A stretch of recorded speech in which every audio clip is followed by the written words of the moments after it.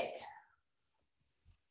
We'll start in seated good space pose, Sukhasana. Just take a moment to change the crossing of the legs to the less dominant or favored crossing. And then pulling the flesh out from underneath the sitting bones, kind of from the inner thigh out toward the outer hip and buttock. It's kind of a diagonal movement. And then be on the mid shins with the crossing and try to create more balance in the legs. And also notice the sitting bones. Try to find your way right on top of the sitting bones so that you're balancing from the front to the backs of the sitting bones right in the center.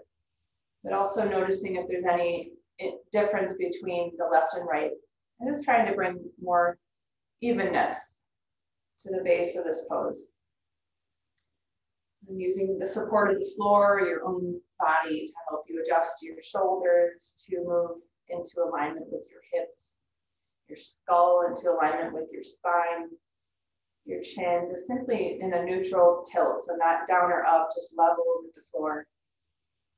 And with the hands still down, just taking some time to lift and spread across the chest, to lengthen through the top of the head without feeling lighter in the base of the pose. And then try to maintain as much of that as you can as you join your hands together in front of the heart. Closing the eyes and turning your gaze away from your brain. Starting to arrive into the, the witness seat. We'll attempt to just remain in this witness state throughout our practice not trying to place any agenda, not trying to stretch, just inviting openness and spaciousness, letting the brain observe the physical experience, uh, the mind experience, the breath experience. Today we're going to just be all about support Rather than striving for our poses, we're going to ask the props to really meet us where we are.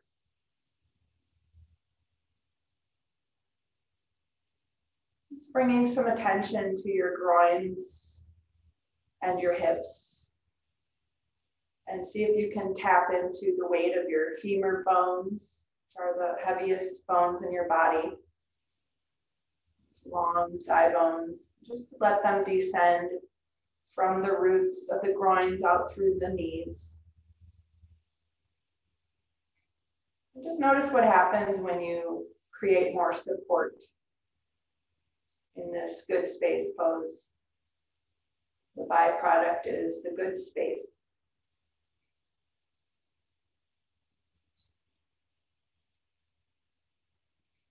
Taking a few moments to soften the abdomen, allowing the breath to flow with ease.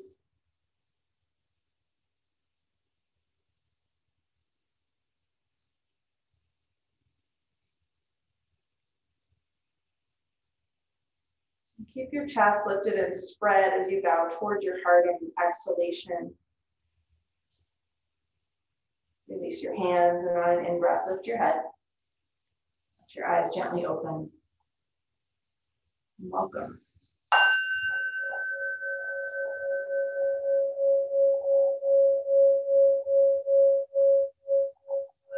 So we're going to start with one of my favorite opening poses, which is Supta Baddha Konasana. So Supta reclining, Baddha bound, Kona angle asana pose.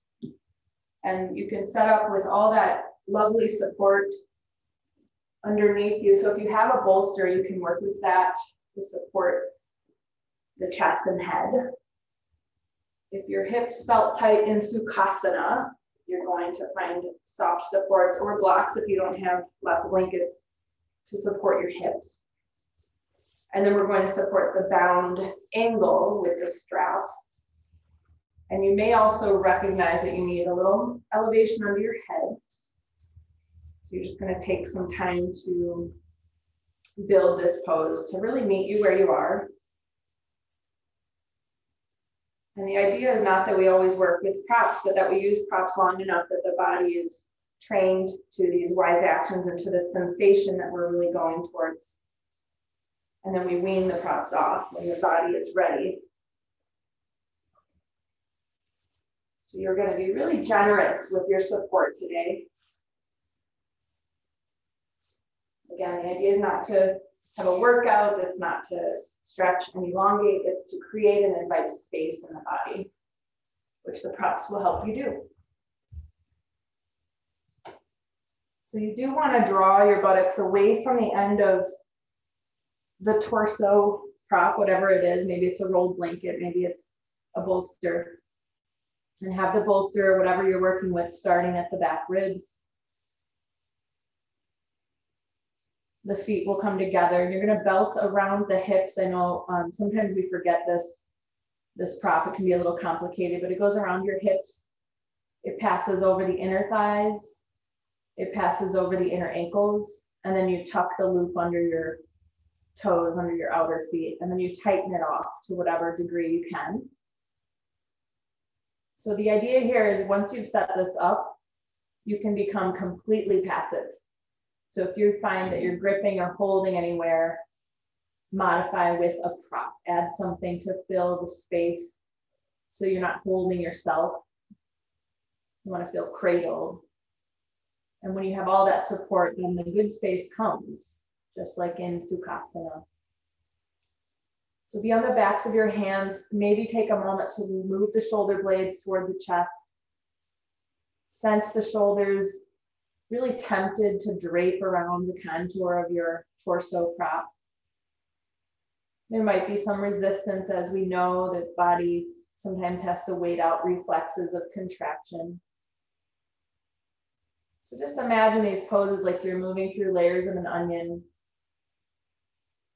Every exhale, a chance to surrender a bit more. And notice how your breath shows up. Each pose has its own signature on the breath. This is a very open diaphragm pose. You might notice a more spacious in breath maybe a longer in breath. You might notice your exhale is a bit more passive. If your eyes are closed, just keep looking away from the brain toward your cheeks.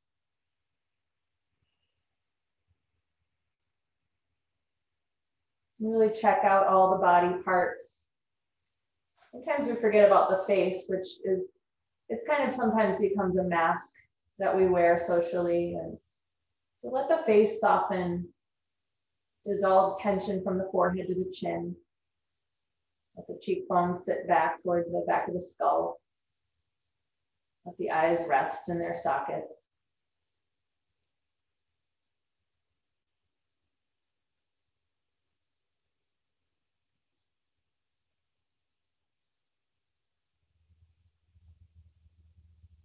We'll be here about another minute, just sinking in a little deeper, connecting with the breath, arriving into a more present state of mind by watching ourselves here.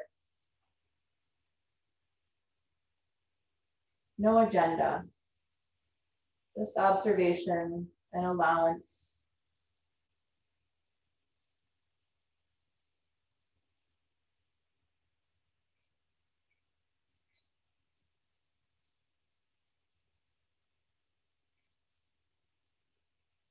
I'm reminded of an interview I heard of a rapper, DJ Khaled. And he was talking about how he owns so many pillows because he he needs to rest his greatness. so just imagine these poses today. You're resting your greatness.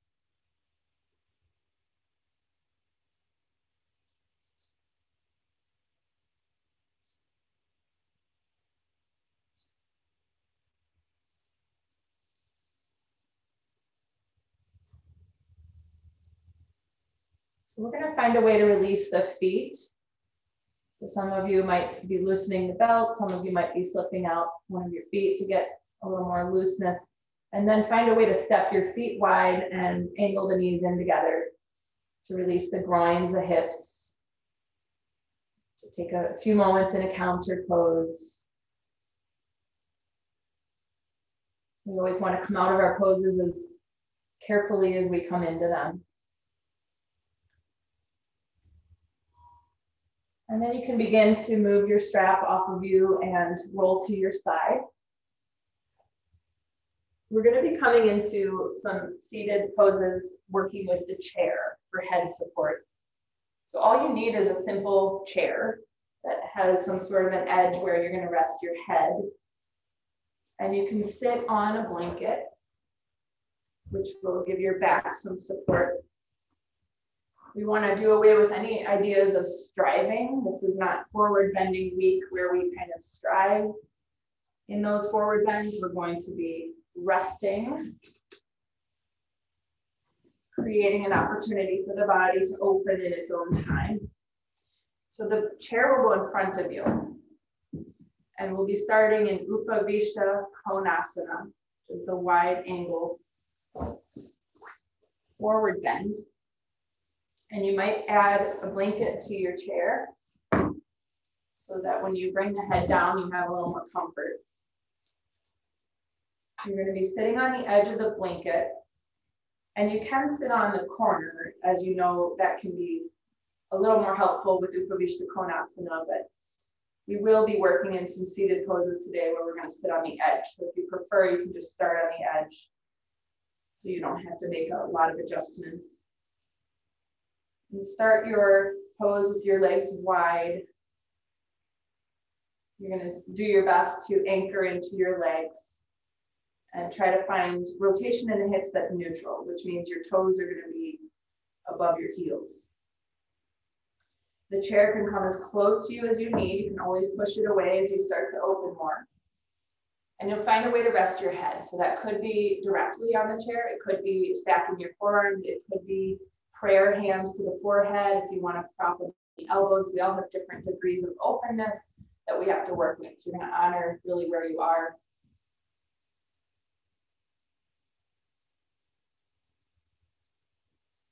So keeping the legs with the dial slightly turned up, not your fullest, deepest anchoring of your legs, but enough pressure into the legs that you keep your consciousness pricked. We don't want to go into a dull, sleepy state here. That's never the idea. So if you're not feeling present, something has to change.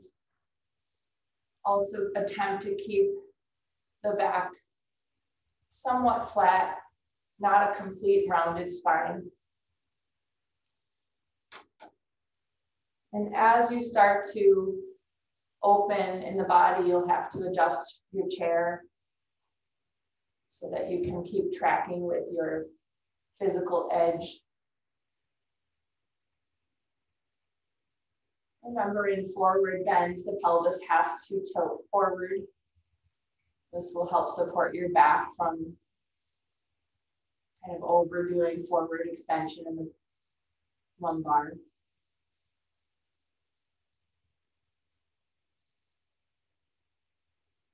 And in your mind's eye, just place yourself in a little boat. And each breath is a tiny wave under the boat. So you're just kind of sensing the breaths in real time.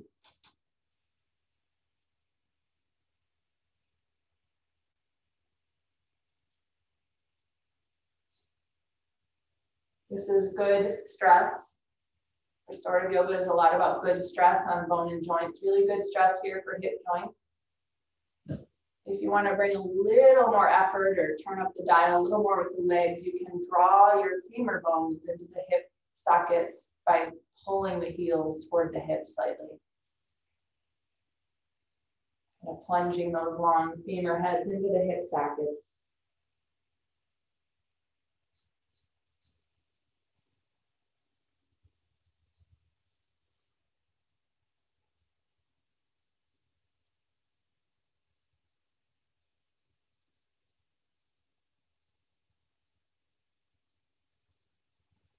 We're going to take the pose to each side now. So on an in-breath, just start to rise up to a, a vertical spine. We're going to open the right side body by taking the chair over the left leg. When you come into Parshva Upavista Konasana, which is the sideways version of the pose, you're attempting to align your breastbone with your left leg here. So you might grab the chair and just help yourself revolve your torso to the left as well as you can until you see the sternum and the left thigh pretty much lined up. And then just kind of come forward and find that starting position, which might be different than your centered position. You might have to elevate a bit more, it might be the same. So just customize it to the needful in your body. And notice how you have to be a little more attentive to your right leg here. Your right leg is helping anchor you, giving you something to revolve away from. Without that anchor, we don't have as much stability or support.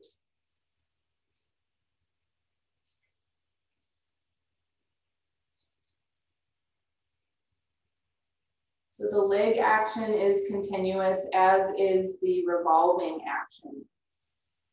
But then locate the places in your body that are passive and quiet and still. And make sure when you get that signal to track a little deeper, go with it, come in a little deeper, but not because of the ego, not because of the will, just because you have the instinct in your body.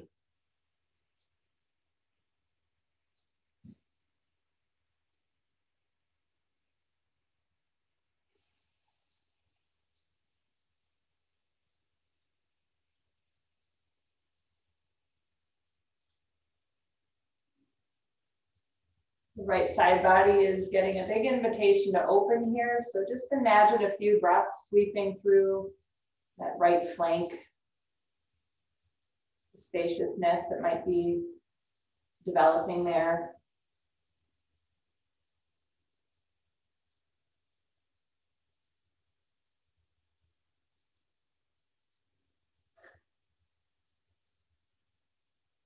Now we're going to gently lift our heads enough that we can transition to place the chair above the right leg. As you transition, try to kind of protect this. We're cumulatively building some quietness in the brain. So just kind of try not to rattle the brain or body more than is necessary as you transition. Again, you're going to use the chair to help you revolve a little bit deeper to bring that chest into closer alignment. It might not be perfect, but get it to where you can, anchor into your left leg, and then come forward enough that you can rest the head, quiet the brain.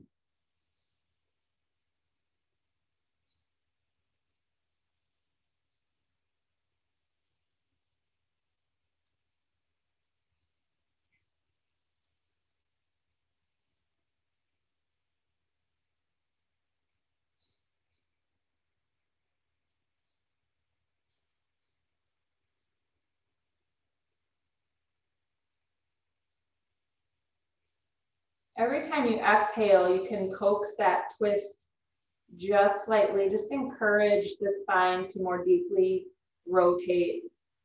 Think about a wet dish rag. You're wringing it out. It's very supple, very juicy. Not forcing anything, just going with it, using that out breath to revolve a bit deeper.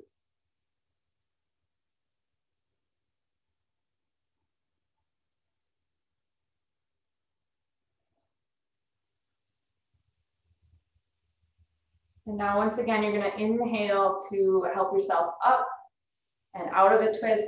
We'll revisit the centered up position just to see if we found a little more depth after rotating the spine, which usually we do. But again, we don't have an agenda, we're just seeing about it. So coming forward from your legs, once you've centered the chair, tilt the pelvis forward, bring the head to its perfect level, Try to keep your back a little longer. Don't let it slump around.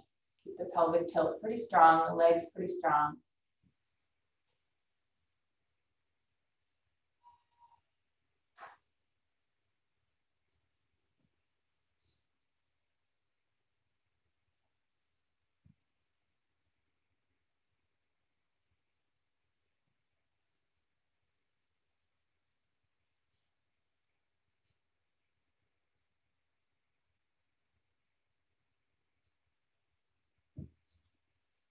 And now on an in-breath, slowly come up. And you can join your legs, slide them under the chair. Just take a moment to feel your Dandasana legs after that Upavishta, that big wide open leg position. And we're gonna come into Janu Shirshasana. So take your eight fingers to the inner right knee. And when you pull there, you soften up that core, that ligament. You're gonna help move the heel up to the upper inner thigh. And then you'll probably need to prop the right knee somehow, block a bolster, a blanket, anything that fills the gap and lets your leg become passively heavy. And then take your fingertips to the floor. Your chair should be centered up over the left leg again. And again, turning your chest to point to the left. You're going to find your starting position for the rested forehead, whether it's on your thumbs, on your forearms, on the chair directly, on a prop. And again, you're going to stay active and anchored into your right leg. You're going to stay active with the torso continuing to revolve to the left. And you're also going to find the quiet places in the pose.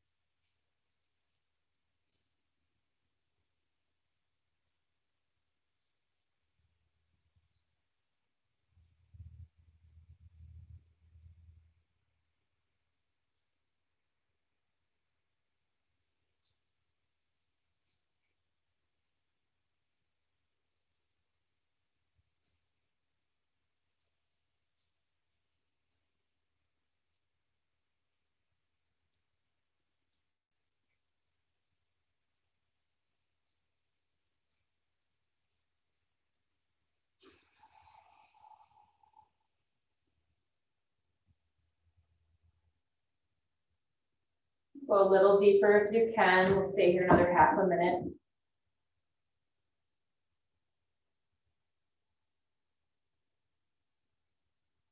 Notice the right lower back starting to elongate, to open, to surrender. It's not a stretch, different. Letting go of kind of default holding in the body.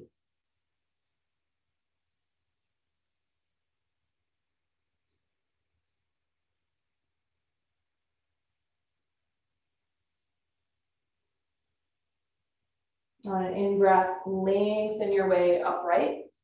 You can stand that right knee up, extend the leg. We'll be transitioning to the other side. So you can again take your eight fingers and lift up on the inner knee to soften to help close the knee, to help bring the heel into the upper inner thigh. Prop your left knee if needed. If it's higher than the hip, you want to prop. Align your chair above your right leg. And then use your fingertips on the floor to help you turn. Turn yourself to the right. Bring some purpose, some, some connection, some anchoring into your left leg. And then on an exhale, find that first edge where the forehead is supported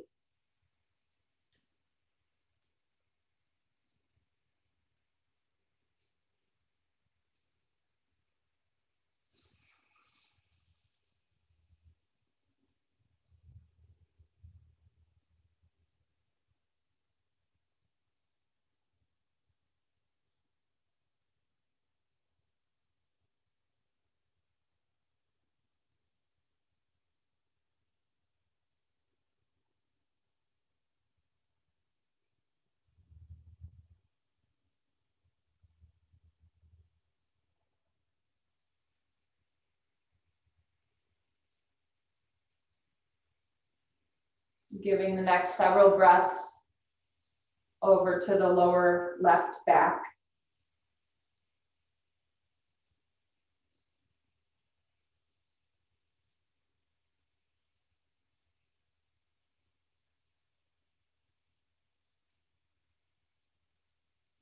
And now inhale and lift up and recenter your chair. Now we did reclining bound angle when we started. We're gonna do seated bound angle. You don't have to put a belt on. Just join your feet and then take care of any needs you have with supporting your legs. So if your legs aren't heavy and descending, if they're kind of gripping in the groins or the hips, take some props all the way up to where your thighs meet the floor so you feel truly cradled. We're going to be resting the head again here. So we're going to have a nice deep kind of plunging into the hips, minding the hips. So be on the sitting bones. And as you come forward, don't roll off your sitting bones. So that's one way we can stay connected with the floor. We're not trying to do a somersault. And then you have to bring your hands to meet you rather than have your head meet something, have something meet your head. Think about it kind of in an inverted way. And again, attempt to keep your back longer rather than more rounded. If you can go deeper, maybe it's a better choice to not go deeper so that you can really stay anchored in your legs. You can stay really deeply plunging into the hips. And that good space will come from that work of supporting yourself.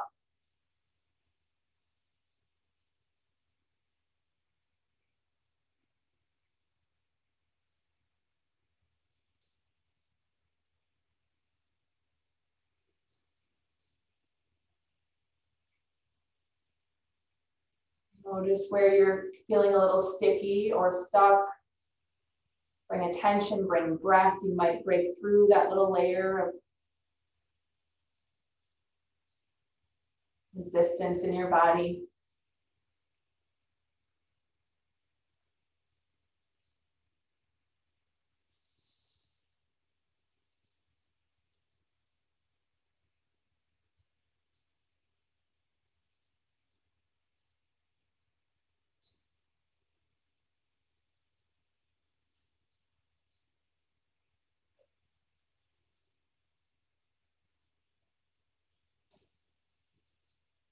Now you're going to inhale, help yourself back up. And you can start to move the chair aside. We're going to be working without the chair now. Move it aside. We will use it towards the end of this class.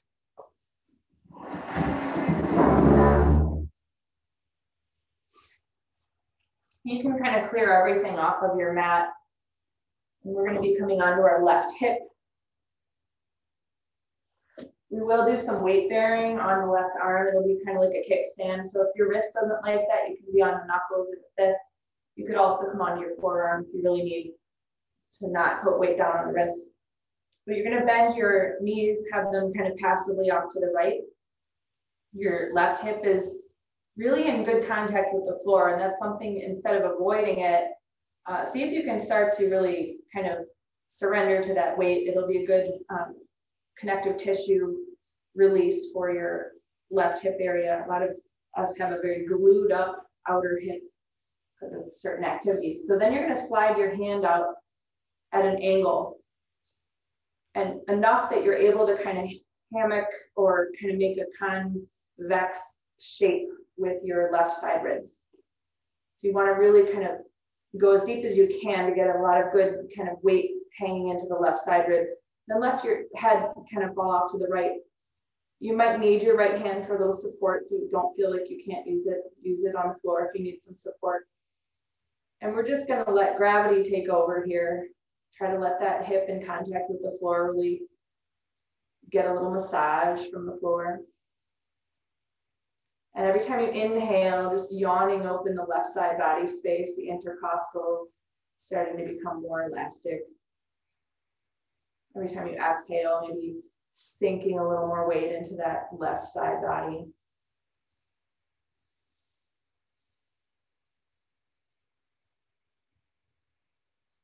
And there's some effort required to kind of hold yourself here, but see if you can start to tap into the side of the pose where you're effortless, you're observant, you're passive, you're surrendered.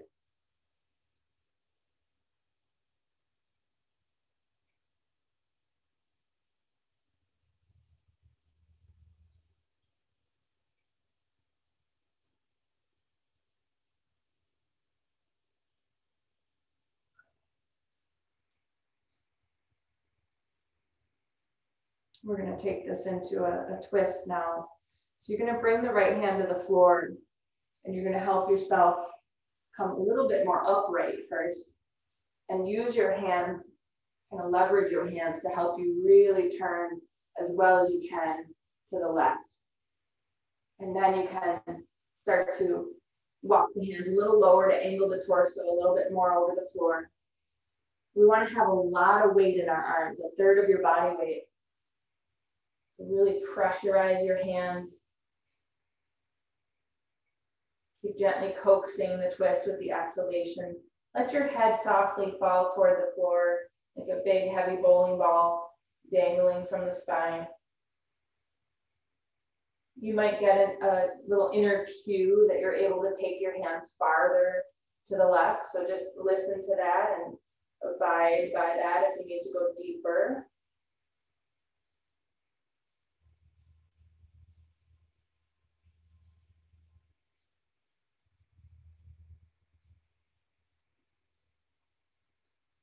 Just notice where there's still resistance. Maybe it's still that hip against the floor. Maybe it's somewhere else. Maybe the right lower back is almost ready to open, but it's not quite there. Give it some breath, give it some attention.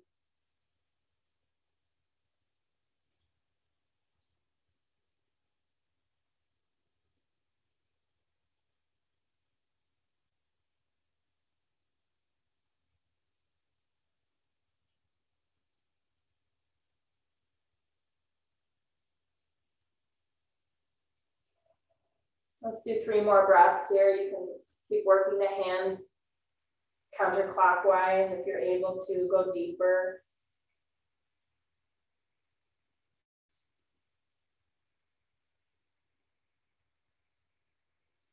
And as we leave the pose, really try to keep good pressure in the hands, a lot of weight down on the floor. You're going to inhale to kind of unwind your torso, keeping the hands heavy, inching your way back until you inhale yourself all the way up. And then we'll switch the legs over to face the left and we'll be putting our right hip in contact with the floor. The legs just kind of passively off to the left, not any specific position there. You're going to extend the right arm off the line of your right hip. Find an angle that allows you to put a lot of weight down. So it's usually kind of a significant angle. You want to really feel the right side body in a convex way. It's really crescent shaped toward the floor, head resting against your shoulder, left hand there propping you up if you need more support. And we can just take care of our poses right away by finding where we meet the floor and making that a good connection. So start with that heavy hip. Try to surrender to that pressure rather than resist it. Connect with your breath, helping the right side body elongate. Make sure your head is fully relaxed. You're not babying the weight of the head. You're not holding it with your neck. Use your shoulder. And again, even though we have to use some effort here to hold ourselves in this position, see if you can tap into the areas of your body that really don't need to work Watch the breath flow in and flow out.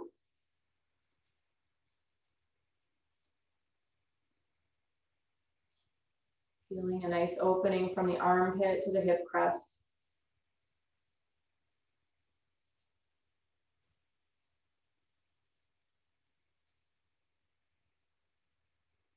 Meanwhile, left-sided kidney gets a nice little organ massage, a little compression. Great way to detox the organ.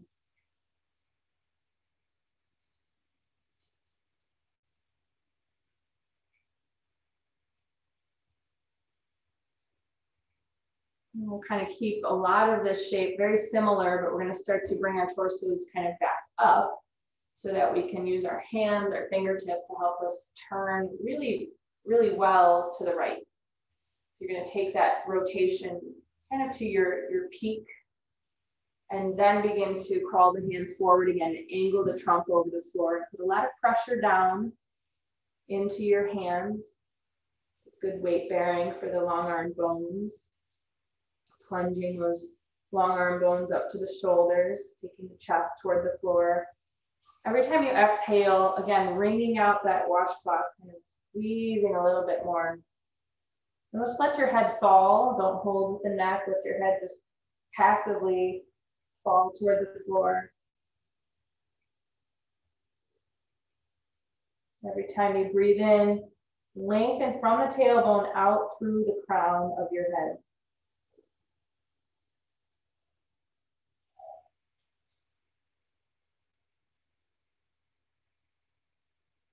There's any resistance in your legs, do what you can to find more surrendered legs, just like supine twists that we do all the time. The legs are really the ticket into the depth of the spine. So if you can drop into your legs, create that density, that heaviness, that passivity, the spine will start to rotate more deeply, more willingly.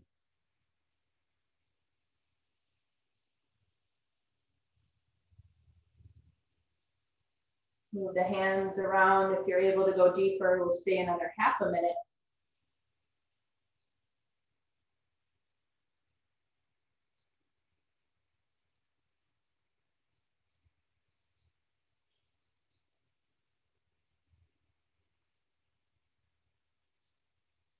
You're going to use an in breath and you're going to really keep the hands weighted as you crawl back around and unwind your spine on that twist all the way up.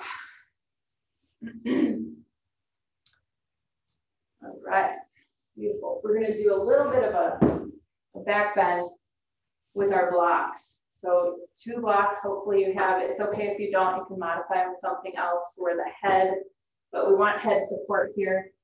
If you have one block, you're going to want to use it to support behind the shoulder blades. And then we're going to have our legs just kind of in a passive Shavasana position. So you're going to put your two blocks down. You can play with the height of the blocks, but um, just assume kind of that you'll start pretty minimally. So lower the medium height of the blocks. And then you'll try to recline back. I like to use my thumbs here on my block to help me kind of position it as I recline back and I'm trying to hit the kind of the scapula area, the shoulder blades, right behind the sternum. And then I want my head supported. I don't want it dunking down. I definitely don't want my forehead higher or lower than my chin. So make adjustments with that head block. So you have the chin tilted toward the chest rather than away from the chest. And then if you can, you'll stretch your arms overhead and you'll either extend your arms so they're parallel, or you'll grab your elbows. Keep the chin toward the chest and the chest lifting. The legs passive. Your feet should be at least hip distance wide, probably wider. Your feet flopping out from the big toe side toward the small toe side. And again, you shouldn't have to do a lot of effort here once you've set it up.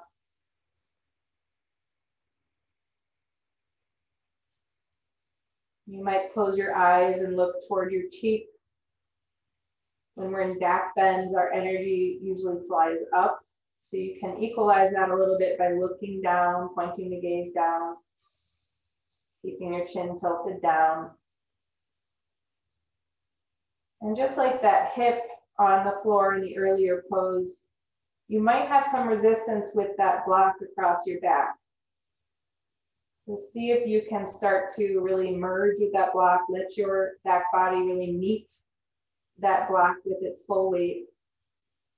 And notice how when you relax into that block, your exhale helps your shoulder blades move in. Your inhale helps your chest to float up. Good things happen when we surrender into the support. If you are crossing your arms and grabbing elbows, just take a moment to swap out the crossing. So we're always kind of creating more balance with these habits we have in our bodies.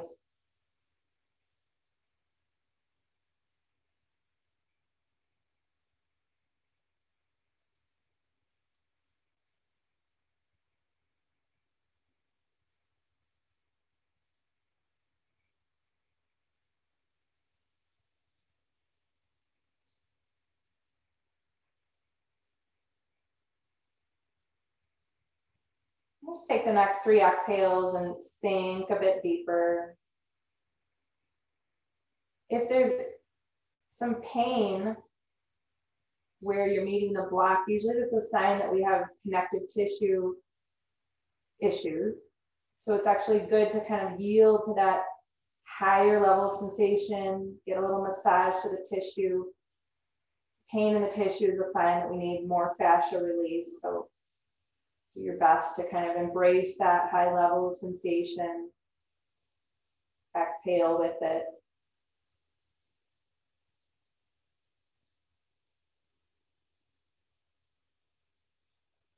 We're going to come out of the pose now, so begin to move your arms back down.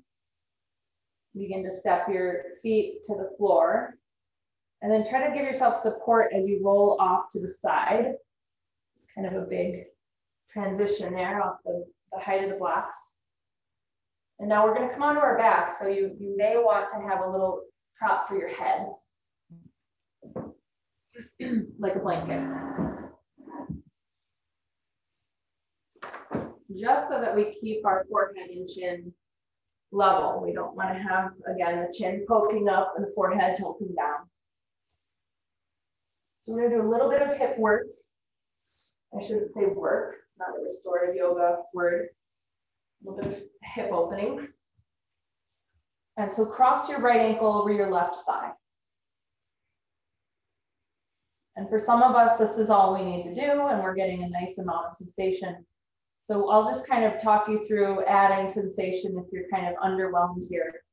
You can extend your right arm and just give a little pressure to the inner right knee.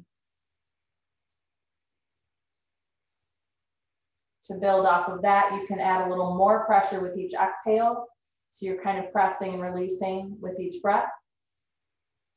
If it's still underwhelming, you're going to pick up your left leg and take your hands behind your left thigh or over your left shin.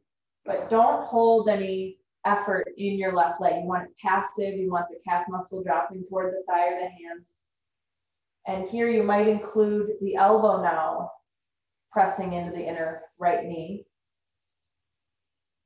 And each time you exhale, tip your chin into your chest a bit more.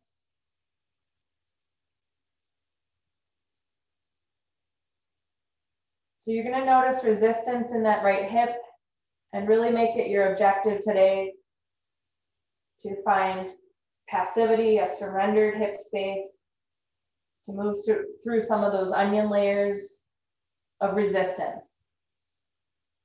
You might squeeze a little bit on the exhale or press, depending on what you're doing.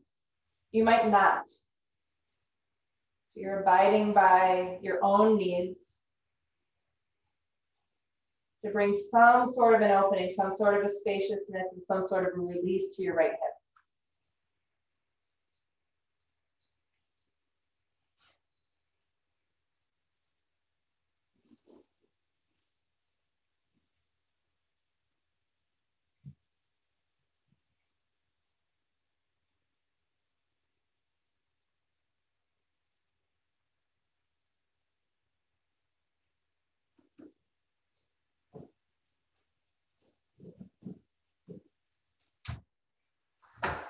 If you have the leg elevated, you're gonna exhale and just let your left foot come back to the floor.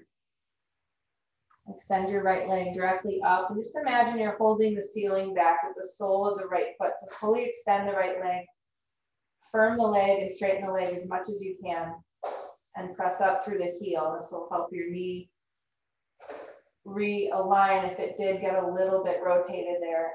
And then go ahead and step down and we'll cross the left ankle to the right thigh. And just start with the very mildest and just see what you need because each side is different.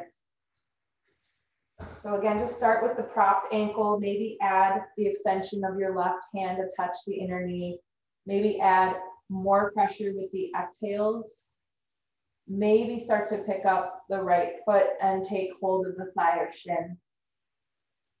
Maybe use the left elbow to keep adding a little resistance to that inner knee. And maybe also working with each exhale to kind of squeeze the legs toward you and the chin toward the chest.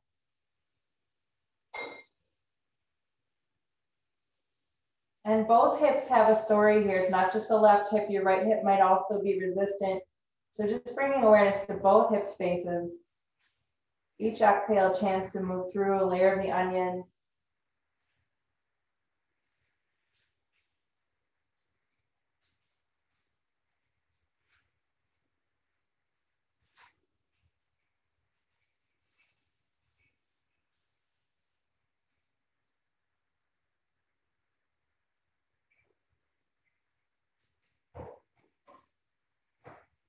The shoulders are peeling off the floor, bring some weight back to your shoulders, let them descend back toward the floor.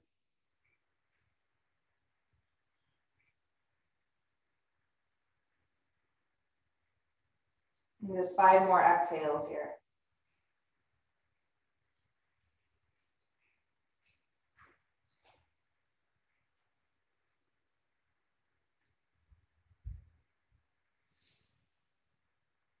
Now go ahead and rest the foot. If you had it lifted, extend the left leg straight up. Try to straighten it fully. Reach up through the heel, pull the toes toward you. Try to yawn open the back of the left knee. Squeeze the thigh muscle nice and tightly. And then step down. And you're going to grab one of your blocks and your strap. We're going to do a supported hand to big toe pose the Parshva version, which means we're taking it out to the side, away from the body. So to kind of kill the momentum of the leg moving off to the side so that we don't go with it, we're gonna be propping the left, kind of the outer buttock with the block. And it's kind of angled in, so it's not directly adjacent to the body, it's angled in. So it's really gonna catch you right at the outer hip and buttock. You might need to move it farther down the thigh. It depends on kind of your, your feeling of openness today. And you're going to open your strap from the Baddha Konasana strap that's probably still there.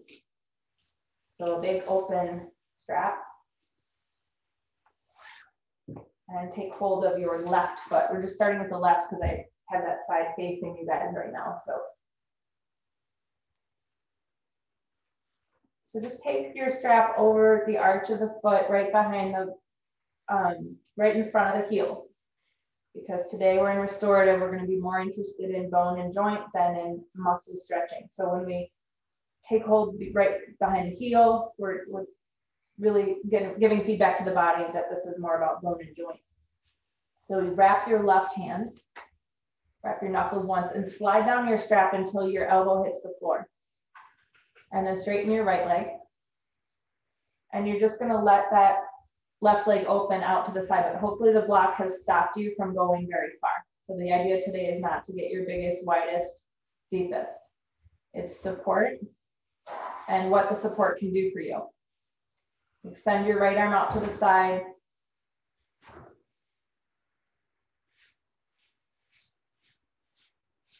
And notice how this pose is different when we amplify the amount of support. There's less effort in equalizing the weightedness of the sides of the body. And so the pose might have a different story when we work this way. There is a tendency to have the foot sickle, so just make sure you're streaming energy out through the inner foot, the inner left foot.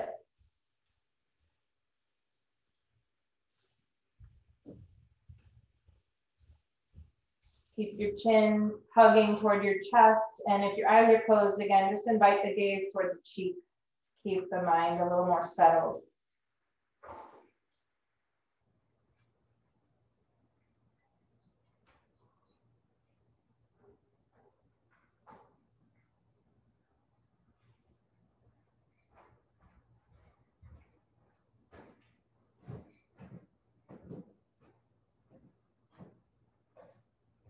And now you're gonna carry this leg back to center.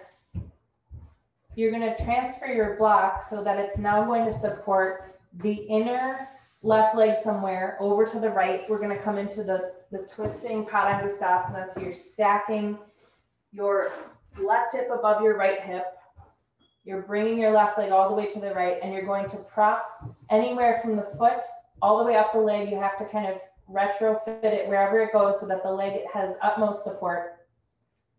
And then you can unfold left arm out to the side. You can encourage left shoulder to find more weight, the left side ribs to descend toward the floor, maybe the head to roll to the left. Make your bottom leg passive. In a different class, we might be more effortful there, but just make it passive. And remember, if the legs can really become surrendered, the spine will become very, very content in this twist.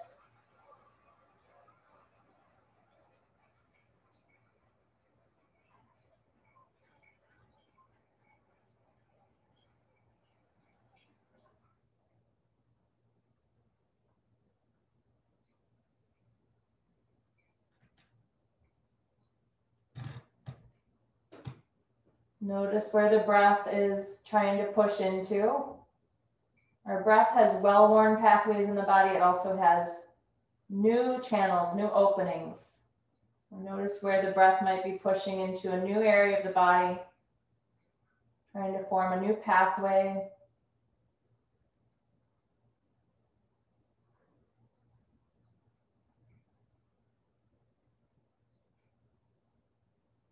We're going to start to transition out. So I would recommend bending your left knee, stepping the left foot to the floor, and then using your feet to help you slide your hips back to center. And we'll be setting up the left side, which I mean, I meant to say the right side. so you're going to prop the right outer hip, maybe angling that block kind of in toward the body, and take hold of the left arch of your foot, I meant to say right, that's really bad habit, um, toward the heel. So we want to be toward the heel. Wrap the hand and then slide down the strap until your elbow meets the floor. So you have really nice grounded shoulders. Extend your left leg and on an exhale, drop that right leg out to the side.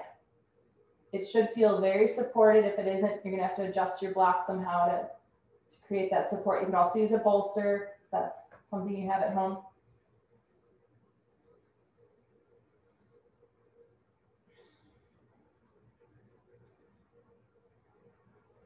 This pose is very different when we do it passively. When we're more active, we tend to actually grip in the inner groins.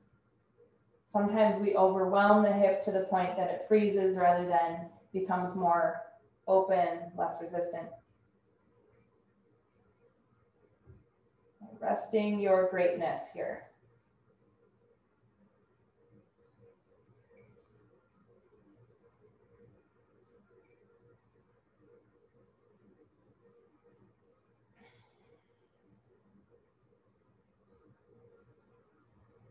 We're going to transition now gently to move that right leg all the way to the left, crossing the body. You're going to want to prop that right foot with your block or whatever prop you're using so that you have full support. You're gonna have to slide left hip under you, right hip above. You can hold your strap now with your left hand. The right arm unfolds out to the side. The shoulder bothers you there, drape the hand over the side waist. Make your bottom leg passive. And let each passing breath encourage more depth in your legs, more weightedness, surrender, and more ease in the spinal twist.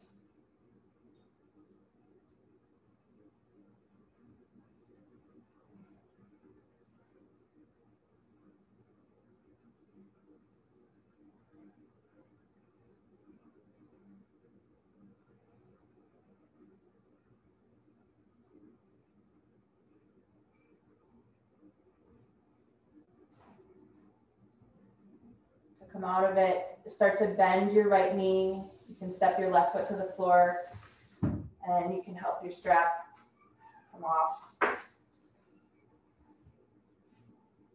We're gonna do a very short pranayama today, so I'm not gonna have you set up the whole blanket system. So just have enough support for your head and maybe whatever you're gonna need for Shavasana, so you're warm enough, maybe a blanket over you or an eye pillow We'll be working with exhalation. And we're going to use an image today. So most of us have had the experience of riding on a gondola or a chairlift or ski lift. So this is working with Viloma, which means we're interrupting, we're going to interrupt the exhale today. So the image is going to be that you're riding up the ski lift, one sweeping, steady, smooth in breath. The exhale is that you didn't get off at the top of the hill, you're riding it back down the hill, and you're going to have that chairlift stop twice, which means there's going to be three segments of out breath. And when that chairlift stops, you're not um, you're not gripping. It's just a very short, brief cessation of the outflow of breaths. You're just interrupting it briefly, and you have to control the duration of that. It's not something I can instruct. So it might be just a beat or a quick pause. It might be more substantial than that. So just make sure that you're comfortably reclining here. You're unfolding the arms, you're in your Shavasana position. You're not touching your things with your feet or your hands. Your glasses are off if you wear them. Your eyes are covered if you need that. And just begin by observing your normal breathing without applying any restraints. Pranayama translates as energy restraint. You're just observing the breath. And then you're going to kind of self guide. And I don't want you to try these cycles back to back to back. So I definitely want you to break it up with a full, easy in breath, out breath. We're going to make three attempts on these broken exhalations. So you have to break them up with easy breathing. But when you're ready, you're going to start with a nice, slow, steady inhale, one smooth breath. When you get to the top of the inhale, you have three segments, two pauses. So you have to kind of budget the breath to break it apart evenly. Pause, exhale, pause, finish the exhale. You're back into easy breathing. And that image is take it or leave it. So if it's not working for you, just kind of find your own way to practice this Viloma exhale. Beginning again when you're ready, a slow, steady in breath all the way up the hill. Out breath, pause, out breath, pause, out breath. Easy breathing. Maybe another one. You have to discern if the brain is staying quiet or if it's getting agitated. You want to keep the brain really settled. Let's do one last attempt whenever you're ready.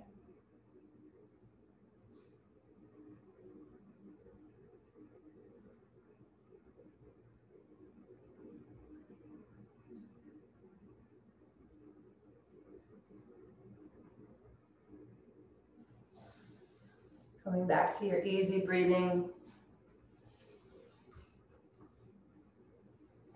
Coming into Shavasana.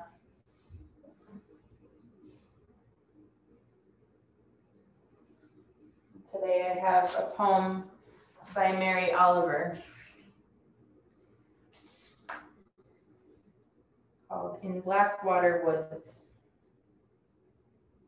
Look, the trees are turning their own bodies into pillars of light, are giving off the rich fragrance of cinnamon and fulfillment. The long tapers of cattails are bursting and floating away over the blue shoulders of the ponds. And every pond, no matter what its name is, is nameless now Every year, everything I have ever learned in my lifetime leads back to this the fires and the black river of loss, whose other side is salvation, whose meaning none of us will ever know. To live in this world, you must be able to do three things to love what is mortal, to hold it against your bones knowing your own life depends on it. And when the time comes, to let it go. To let it go.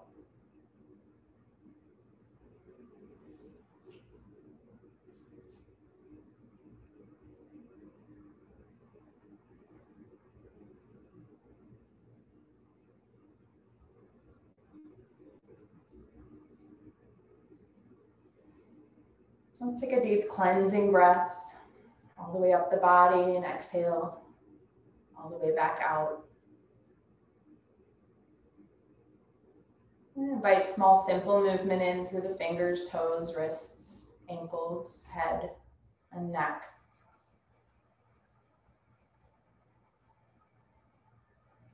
Bend your knees, bend your elbows, move your hands onto your belly or chest.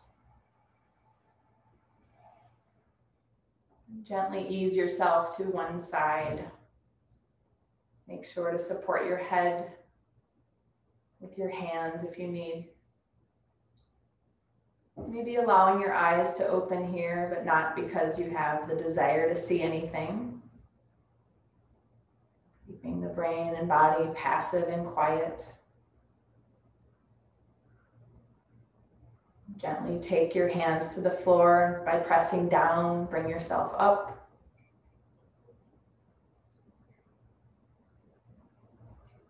And when you find yourself seated back in Sukhasana, take a moment to move your hands together in front of the heart center. Pull the shoulders back, lift the corners of the mouth. Point your gaze away from the brain toward the heart once again. And let's take an in breath through the nose and let it go. From the place within me that I know to be divine, I honor that place within each of you. Namaste.